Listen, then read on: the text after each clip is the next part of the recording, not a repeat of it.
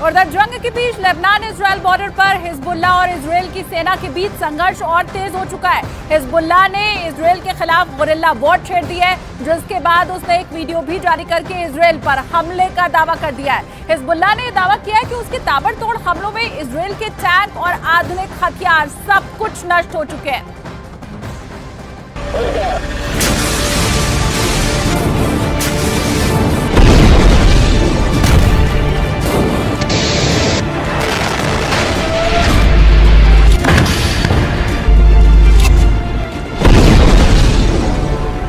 Hezbollah का दावा है कि इसराइल के खिलाफ वो नए और आधुनिक हथियारों का इस्तेमाल कर रहा है।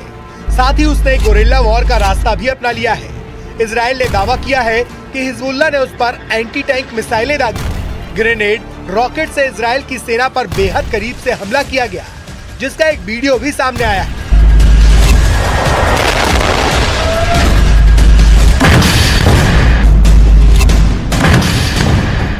वीडियो में दिख रहा है कि हिजबुल्ला इसराइल के टैंकों को महज 100 से 150 मीटर की दूरी से एंटी टैंक मिसाइल से और रॉकेट से निशाना बना रहा है। और वीडियो में जिन घातक राइफलों का इस्तेमाल होता दिखाई दिया, वो इसराइल की सेना के पसीने छुटाने के लिए काफ़ी है। वीडियो में हमले का तरीका ये साबित करने के लिए काफ़ी है कि इसराइल की सेना को बेहद क्रूर और शातिर लड़ाकों से जंग लड़नी है। वो भी उस समय जब हिजबुल्ला की तरफ़ से इसराइल की सेना पर ताबड़तोड़ हमले किए जा रहे थे।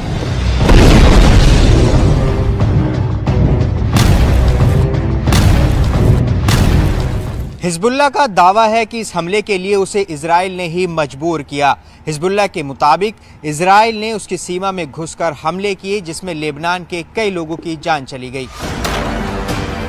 हिजबुल्ला का आरोप है कि इसराइल की सेना ने लेबनान के बेकसूर लोगों को निशाना बनाया और आधी रात में वहाँ जोरदार रॉकेट दागे। इसराइल की सेना ने इस हमले के बाकायदा वीडियो भी जारी किए, जिसमें लेबनान और इसराइल की सीमा के पास मौजूद कुछ फौजी ठिकानों पर धमाके होते दिखाई दिए।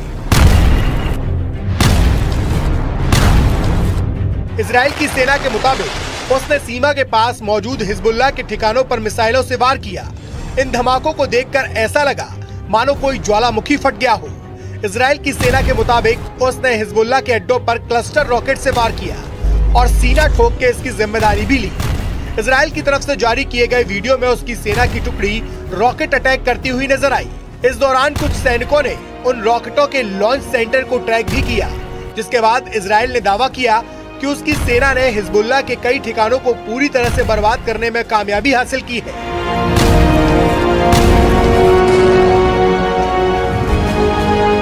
जिसके बाद हिजबुल्ला का गुस्सा सातवें आसमान पर है।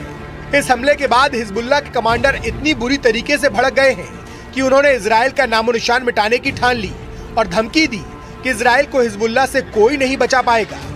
जिसके बाद इसराइल की सेना और उसके ठिकाने हिजबुल्ला के निशाने पर आ गए। क्योंकि गाजा में हमास के खिलाफ युद्ध लड़ रहे इसराइल को उसकी उत्तरी सीमा पर हिजबुल्ला से भी चुनौतियाँ मिल रही हैं।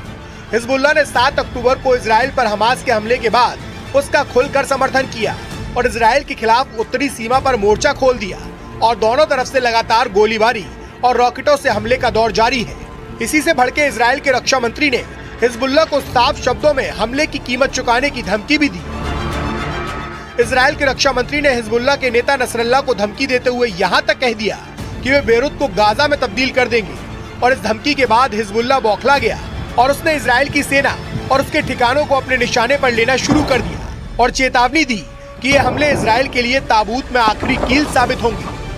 मतलब हिजबुल्ला ने एक बार फिर इसराइल को सीधी चुनौती दे दी। हिजबुल्ला ने साफ़ साफ़ शब्दों में ऐलान किया कि लेबनान में हुए हमलों का बदला वो ज़रूर लेगा। साथ ही ये चेतावनी दी कि हिजबुल्ला की तरफ़ से किए गए हमले लेबनान में किए गए हमलों से ज़्यादा घातक होंगे। अब हिजबुल्ला ने इसराइल के खिलाफ गुरिल्ला वॉर छेड़ दी है और हमास की स्टाइल में इसराइल की सेना पर सामने से निशाना लगाना शुरू कर दिया है।